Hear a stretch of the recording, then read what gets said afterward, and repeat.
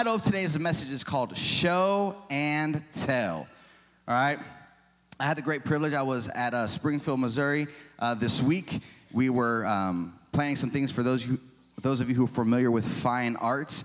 We're planning the National Fine Arts that's going to be taking place in Columbus, Ohio in August 2020. And so we're really excited about that because it's a conference, it's fine arts, and you know, seeing students using their gifts. But then we also have a, a missions trip attached to it where kids go out to the city and start serving the communities around. So we're super excited about it.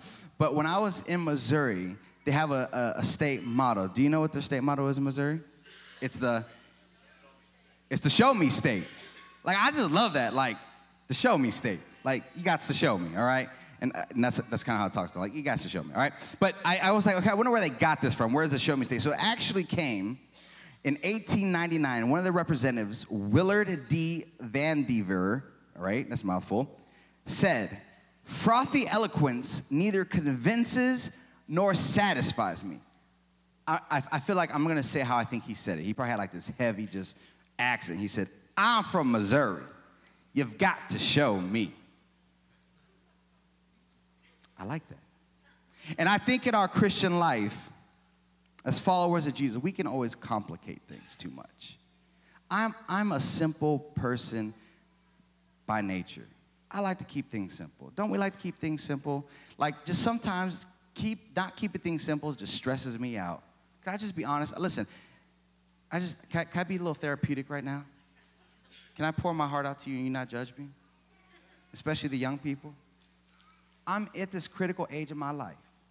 I work with young people, right, all the time. I'm at this critical, very unique place in life where technology is getting beyond me. It's not a good feeling. When kids come and say, Are you on Snapchat?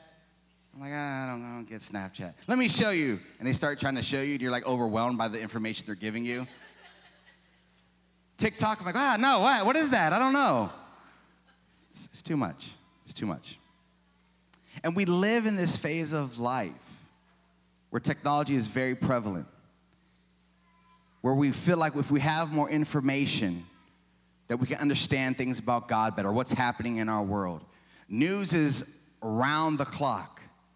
You turn it on. I mean, there's stations that are just devoted to news. It's not like back in the day where you had three channels, the news came on at six, and that was it, right? Now it's it's all all all day long consuming. It's on your phone. It's on the TV. It's breaking news. This is going on. It's all these kind of things, and it reminds me, listen, of the, the situation that we even had at the very beginning of time with Adam and Eve in the Garden of Eden. Where they ate of the fruit, and, they, and, and the devil was tempting them, saying, Listen, if you eat this. God doesn't want you to eat this fruit because if you do, you'll be more like Him and you'll be knowing, all knowing of things.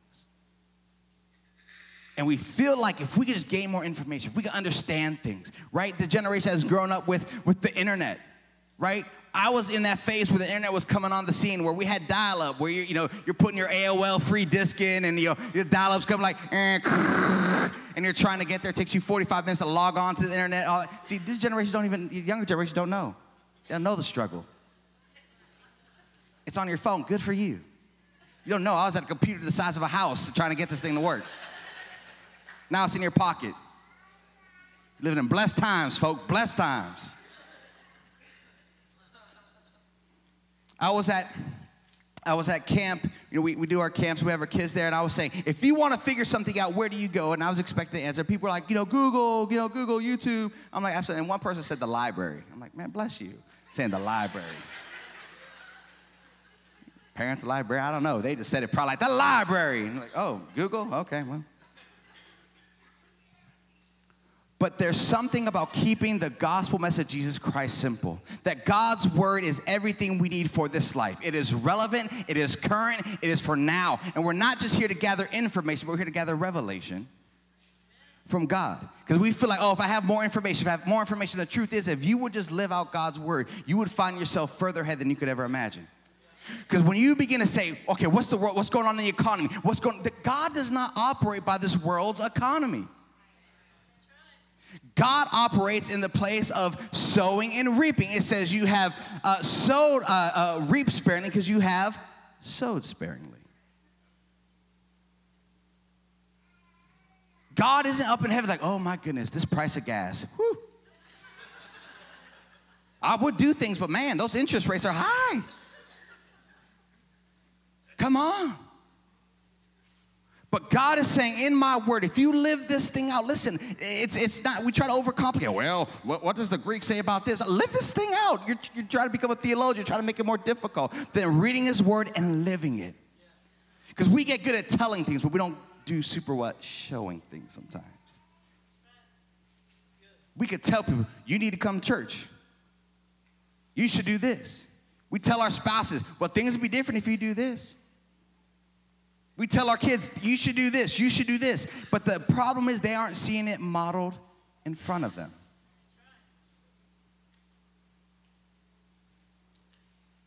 They're looking, they're, you're being told all the time. But who's showing you? We begin to compare to other things, look at other things. My mom and dad, I mean, they were by the word. That's just who they were. They set the example for me. And I'm thankful for that. So, listen, as we talk about show and tell, we're going to focus on the showing part, not so much on the telling part. It's funny how just sometimes in our lives, people can't hear what we're saying because our actions are speaking way too loud. So, you could tell someone, I love you, but if your actions aren't matching up, your words are hollow. You could tell your spouse, I love you, but if you aren't helping out around the house, maybe, if you aren't helping with the kids, right, changing that poopy diaper, not waiting until your spouse walks in the room like, I think, I think they pooped, you might want to check them out. Like, you already knew they pooped. You're like trying to time it. All right, I think she's coming in. I think he's coming in. I'll set him up. You didn't even know you're getting set up. But how are we showing God to those in our family, and those in our communities, our workplace, our schools. God's word is timeless, it doesn't change. And we're going to focus in on this. Listen. You show God to others by how you love. You're like, wow, this, this is really this is really deep, Nate. Wow, I'm glad you came and just told us that we show God uh, to others by how we love. Because love is hard to really live out because love isn't based on feelings. It isn't based upon, well, you know, uh, I feel like you're worthy or not. But love is a person. His name is Jesus. When you look at the biblical definition of love, right, it just starts out love is patient, love is kind. But I, sometimes I think I have love, man, I got this. And then I lose my patience so quick. I get behind someone at Starbucks who doesn't know what they want and they're taking their good old time. I'm like, this is Starbucks. Come on, hurry up. Like, um, mm, hey, what's in this drink? I'm like, coffee. That's what's in it. Move out the way. Uh, oh, oh, what, what's, what size is a venti? It's a large and it's a venti. Come on.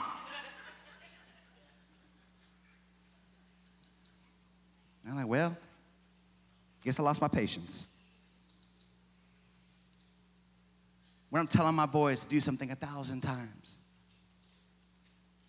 and you feel like, how do I need to communicate this to you that you can understand me?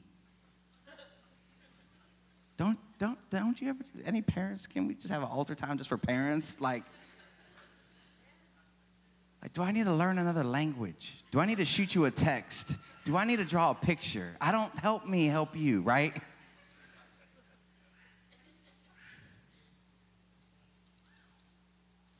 But sometimes God has that patience with us when we're being disobedient, when we're not listening to His word. And we're saying, God, this is going on my life. This is so hard. This is so difficult. You reading my word? Or are you living it out? Because sometimes we want the do thing, but God's saying, you need to be faithful to the thing that I gave you. Right? Pastor Lucas was talking about, you know, we want to say, God, when I get that raise, when I get that promotion, God's saying, you're not even faithful what I give you. The Bible says, if you're not faithful with little, how will you be faithful with much? The Bible says in Proverbs, it's the little foxes that spoil the vine.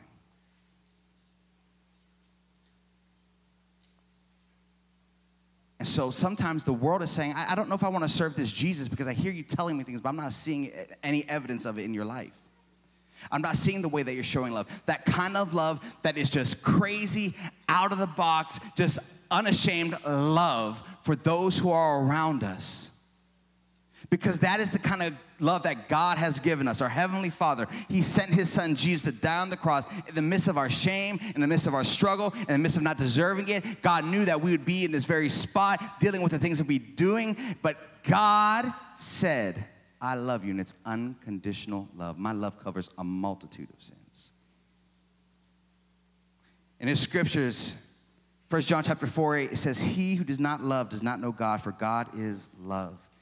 Don't love people that you consider easier to love, but love all people. We can't say that we love God if we're not loving people around us, and not just the people that come to Lima first, the people that you work with,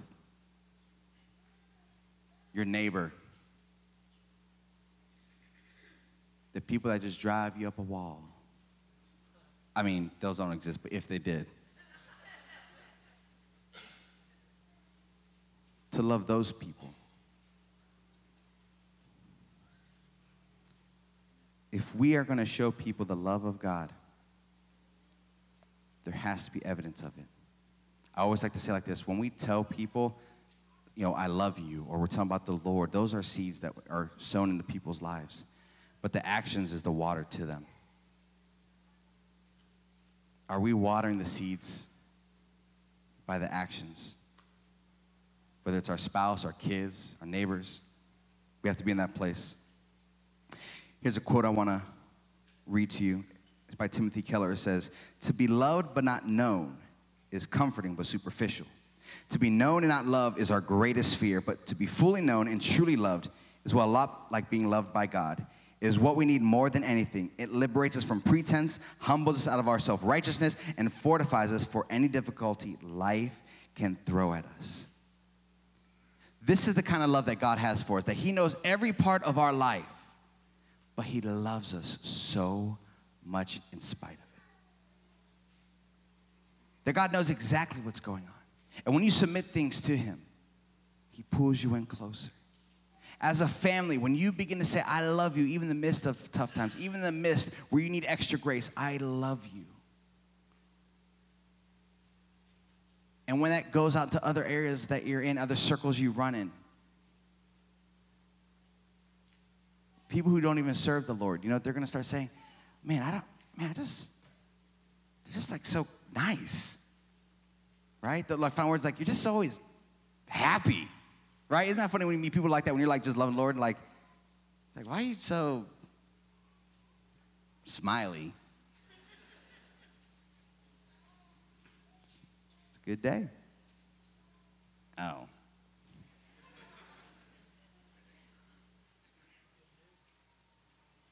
But love penetrates the hardest of hearts. It does.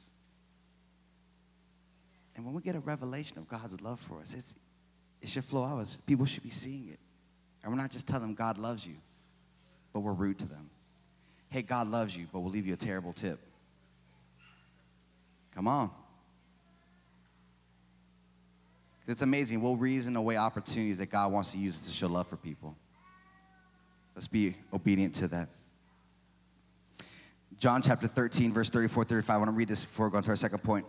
It says, A new commandment I give to you, that you love one another as I have loved you, that you also love one another. By this, all will know that you are my disciples if you have love for one another. This is a powerful verse right here. Right? We know it, we hear it. If you've grown up in church, like, yeah, yeah, yeah, that's, that's how people know. But this is the thing the singular thing that God says, this is how people will know you are my disciples by how you love each other. So, there, so it, if we're not loving each other appropriately, we're missing it.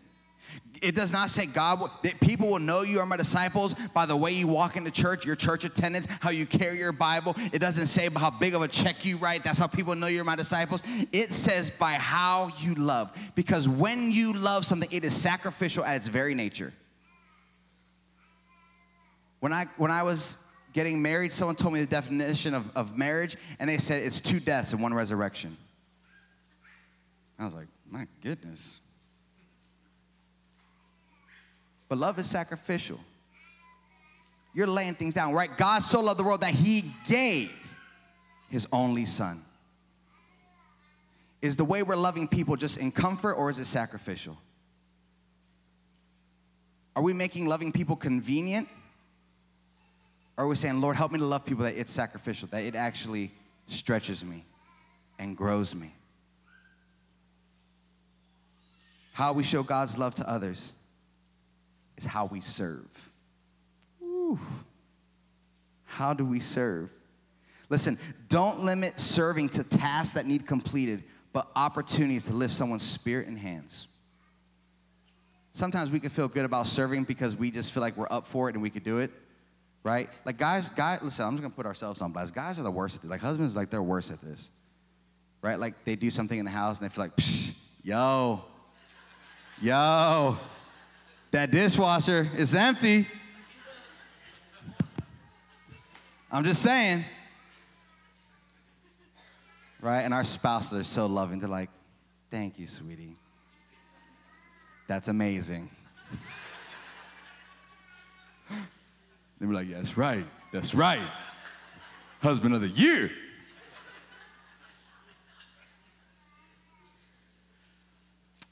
But are we willing to serve our spouses when it's not convenient? Uh, fellas, when, when you get in bed and you're all ready, like, man, I had a long day, and your wife's like, I think I hear something downstairs. You have to get up out of bed, go check like it's nothing. Are you sure? Go check one more time. Okay.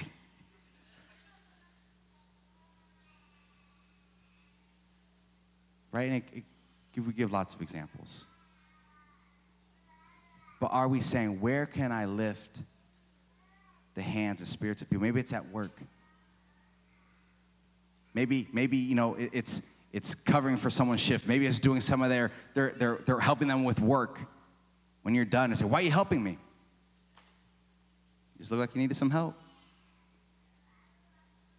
What if you bought someone's lunch and just serve people? Speak life over people. Serving isn't always just doing things, but it's an opportunity to lift someone's spirit.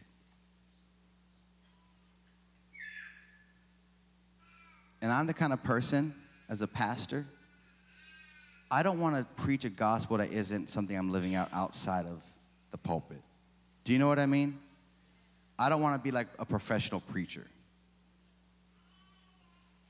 I want to say, yeah, I'm living life just like everyone else, right? I'm not walking around Walmart like, bless God, lead me to the best deals.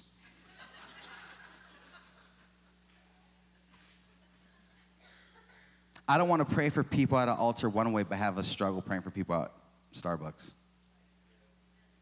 I don't want to be the person when I'm out in public, it's like, oh, that's terrible, that's going on for you. Well, I'll pray for you. But why don't we say, hey, let's pray right now? It doesn't have to be weird. It's only weird if you make it weird.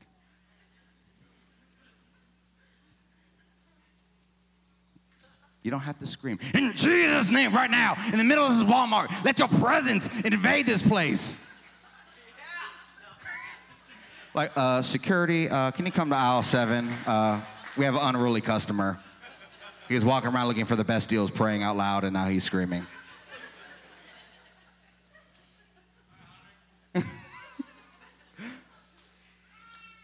but you can serve people. I was getting a haircut one time. And, and that's what I'm talking about, because this is, this is for all of us. I was getting a haircut, I was, you know, you have small talk and all, you know, when you're getting a haircut. And I'm, talk, I'm talking to the, the lady cutting my hair, and she's telling me her story. She's telling me about, uh, and I'm going to stop here on my story, because as we talk about serving people, I want to give you a little, how do you serve people on a consistent basis? Listen, if you go to a grocery store all the time, or you go to a certain restaurant or whatever, always ask for the same person so you can continue relationship and speak life over them. That's a little tip. Anyways, back to the story. So I'm getting a haircut, and she's telling me that her son is really sick. He had, um, uh, like, I guess, like a staph infection in his blood, and it was, it was really, really bad. And she's really shooken up by it, and she's telling me about it. And then she's telling me about her other son who got in a fight at school, and it, it wasn't his fault, but the school's pretty strict, and they thought they were going to expel him from the school overall and just they would have to move. And she was just very worried and very anxious about it all. And so I'm listening to her story, and she was just sharing other aspects of her story. And she wasn't having like a boohoo, woe is me type of thing. but she was just sharing what was going on in her life, and she was, but she was really concerned about her, her boys. And so I'm sitting there listening, and I really felt God's like, you just need to speak life into her right now. So after I get my hair cut, I said, Can I just share something with you? And she's like, Yeah. I'm like, Okay. I feel like God just wants you to know that He's really proud of you. Like, this is what I really felt in my heart. Like, I didn't have like some spiritual word. I didn't have to, I, you know, I wasn't like, Your house is blue. And I know as a child, at seven years old, right, you had this incident at the zoo, right? Am I right? No. I just spoke where I felt God was speaking. And it, listen, and I don't say it's, it's not about a Nate Ortiz story. It's about when you're just trying to be obedient to what God's doing. So I'm just sharing what I feel God is, has on my heart. And she literally, I see the tears just welling up in her eyes.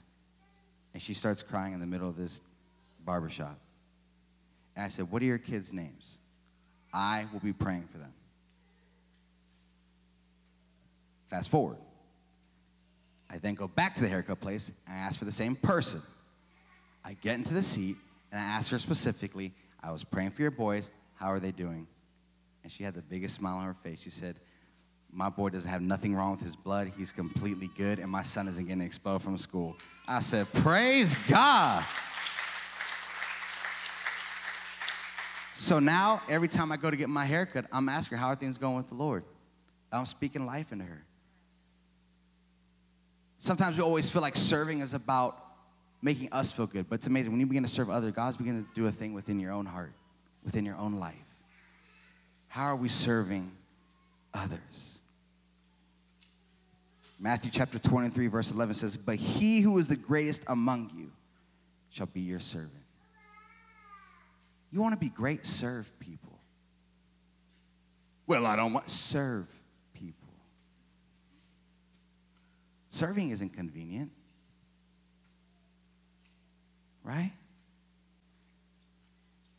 Serving people isn't always convenient. If you, if, if you cook for your family in your house and you have small kids, that is never convenient. I don't like mashed potatoes. You had five pounds of it yesterday. What is the problem? this chicken nugget tastes weird. Oh my goodness. I knocked the, I knocked the food over. Ah! Love is patient. Love is kind. I will show my children that I love them.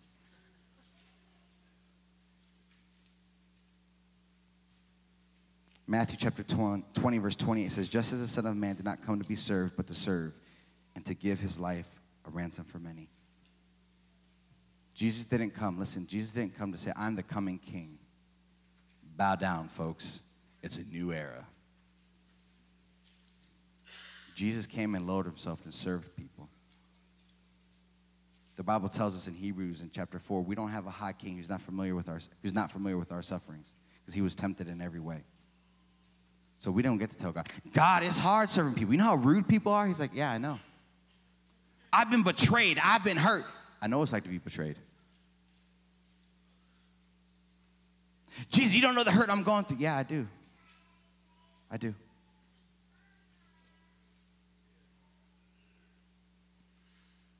Let's show God to others by how we love them and how we serve them consistently, not when it feels convenient. The third thing is we show God to others by how we repeat.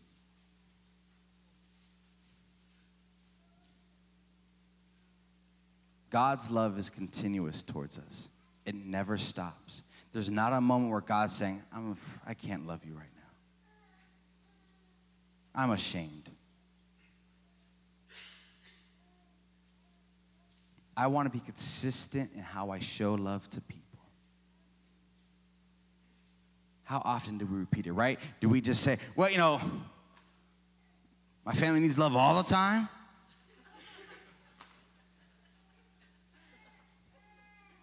We went to Cedar Point last summer. I mean, that, that was a lot of money. Paid $15 for a pretzel.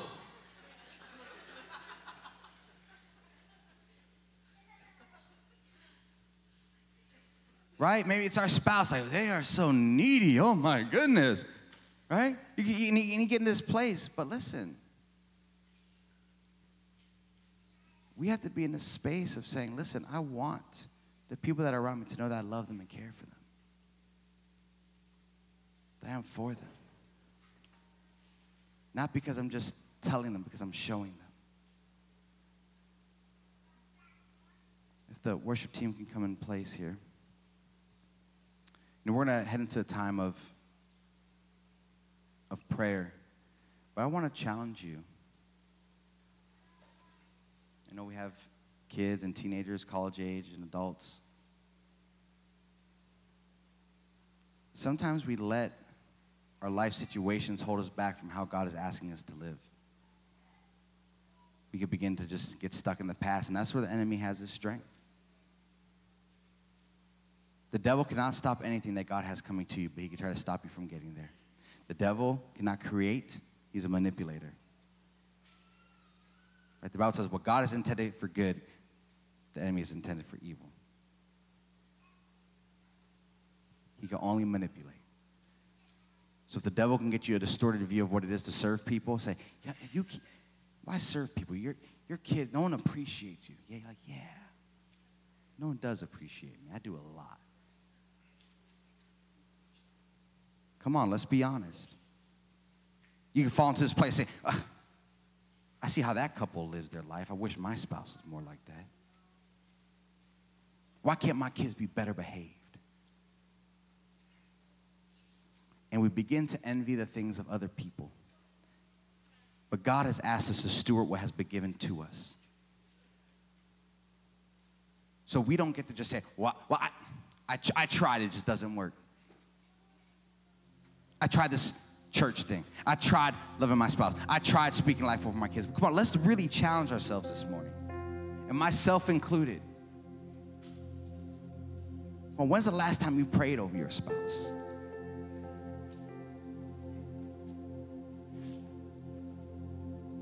Where you spoke life over them.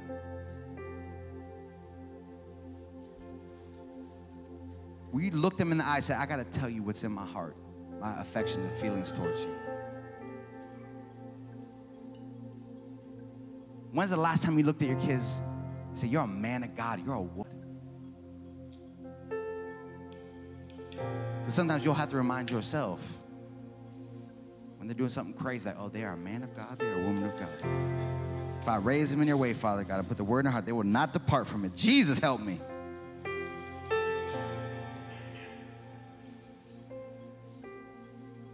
Teens, college age, when's the last time you told your parents, hey, thank you for all you've done for me? And it wasn't in passing moment of heading out the door, but you sat down at a table and looked them in the eye.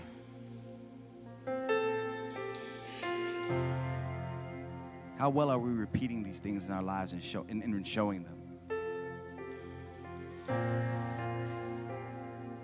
It's powerful.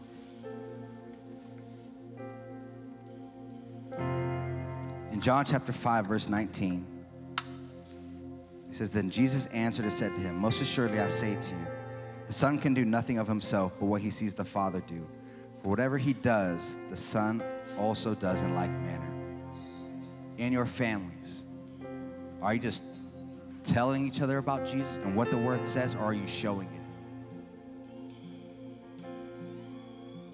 Maybe today is a new day for your family for how things happen. Maybe tonight you're going to get together and you say, hey, let's read the Word of God together.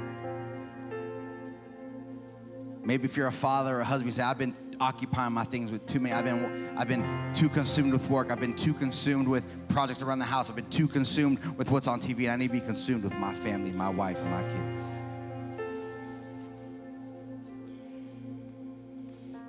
Wives, maybe you feel like there's just so much going on. You feel like you haven't been able to clear your mind. You feel like you're just completing tasks, but maybe God's saying it's time to sit and rest.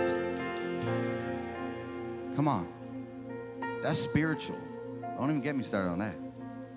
There's always things to be done. Tell you, you can't outwork God. If you are in God's grip, if you are in God's peace, His word tells us, right? He will keep your mind at perfect peace, whose eyes are stayed on Him. I don't have peace, your eyes aren't on Him. There's chaos in my family, keep your eyes on Him. My job isn't crazy, keep your eyes on Him.